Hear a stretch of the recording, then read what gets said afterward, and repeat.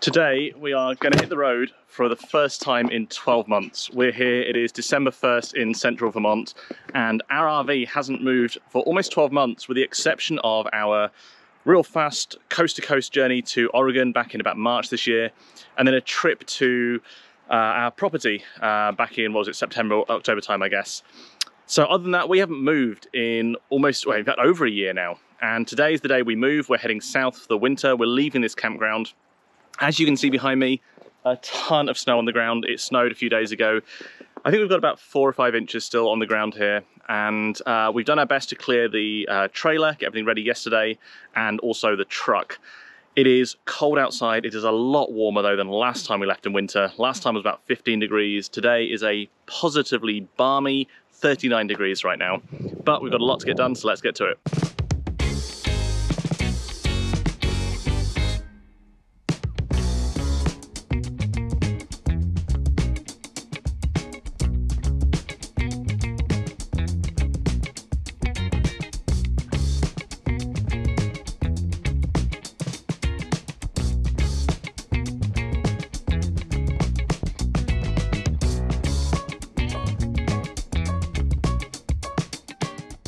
So it was slightly easier to hook up this time than last time we had to hook up in winter because it's just slightly warmer than the last time. Yeah, I think last time it was like four degrees in the morning or overnight and then 15 degrees by the time we got here.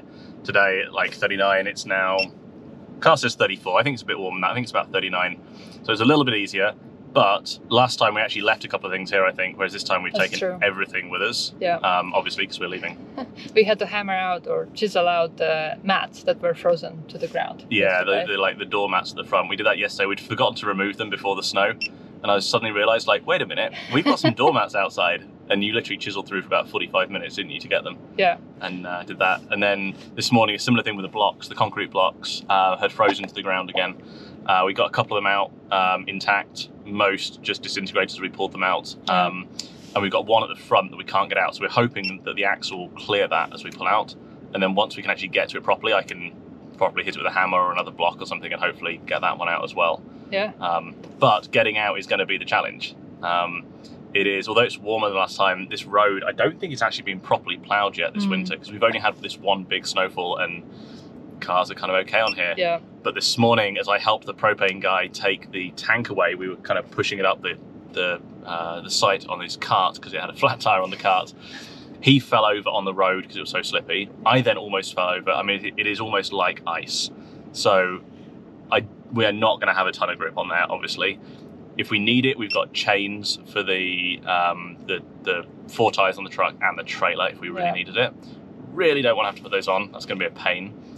The only good thing going for us is because it's only been one snow and the truck was here when it snowed, the space Mm. under the truck Yes. has zero snow on it. It's just like bare grass and dirt and things. So I've got good traction on here. The question is whether that's enough to get me the momentum to get them around and also hopefully avoiding the trees on the way out. because the trees have grown since we put the RV here. Trees are definitely growing. This this gap looks a lot narrower than it did, to be honest, even in March this year.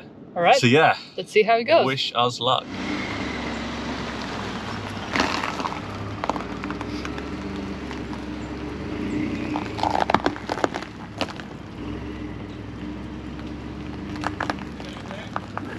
I, I, can't tell yet. You have like four more feet to go. Uh, yeah, I think it will clear. Yeah.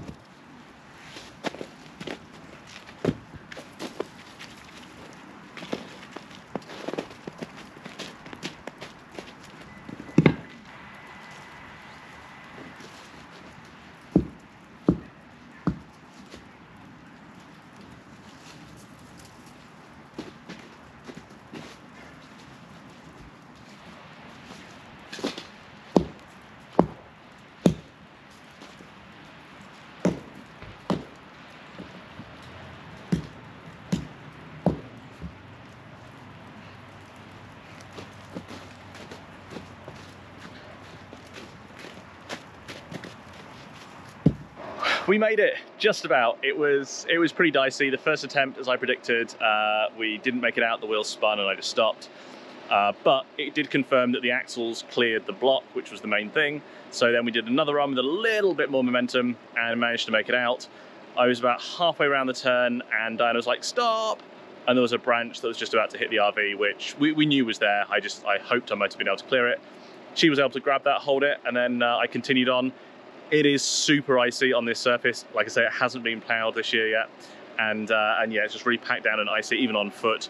So I took it real slow, just crawling it out in four wheel low, and yeah, we made it out. A little bit slippery, but uh, but we made it. And so we are leaving, and we are leaving this campground here. This is Green Mountain Family Campground in Vermont, uh, just north of Middlebury, just south of Bristol. We have had a phenomenal time here. We've been here over 12 months. This is one of our all-time favorite campgrounds. It's a family run. Uh, Gary and Joanne, who run it here, are just the nicest people, uh, super friendly, uh, we felt so safe here during the pandemic, and yeah, just a really nice place to be. It's kind of like a, a no frills place. They do have a swimming pool. Uh, we didn't actually use that. We're not really like amenity people.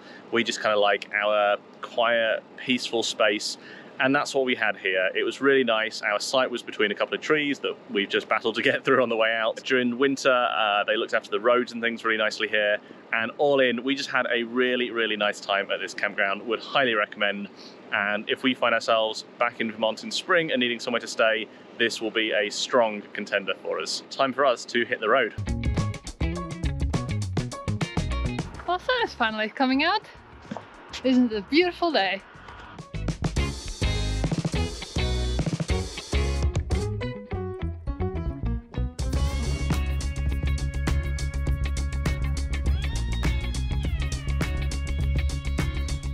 From Vermont, we headed south to New York, where we stayed at a friend's driveway for a week before continuing our journey further south. On long travel days, we prefer to use travel plazas. They're free, conveniently located, often have RV specific areas to park.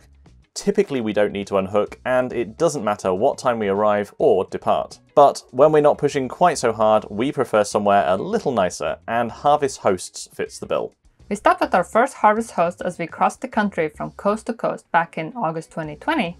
Since then, the network has expanded significantly, and we had no problem finding somewhere to stay. Using Harvest Hosts, we booked a night at Blueland Farm near Frederick, Maryland, just a short detour from our route. The deal with Harvest Hosts is simple.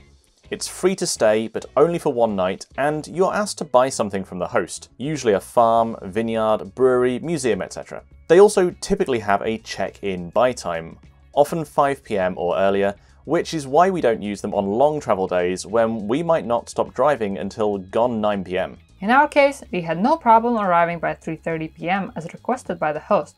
We parked our RV and were pleased to find that not only was it perfectly level side to side, but also that we only needed to slightly raise our tongue to level it front and back, so we didn't have to unhook the truck either. As is customary, we went and said hello to the host and bought some delicious farm products fresh eggs, as well as some frozen lamb chops and stewing lamb. They had two of the lamb chops for dinner that night, and they were delicious.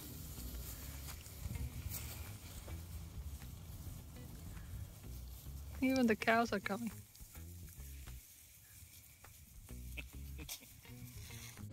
Thanks to the easy parking situation at the farm, it took us less than 10 minutes to get rolling the next morning.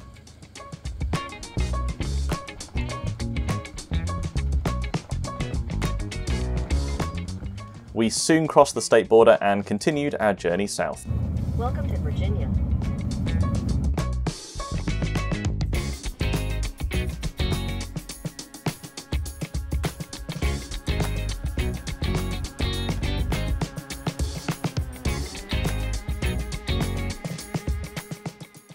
This winter, we found a quiet campground in Virginia to stay put for a while.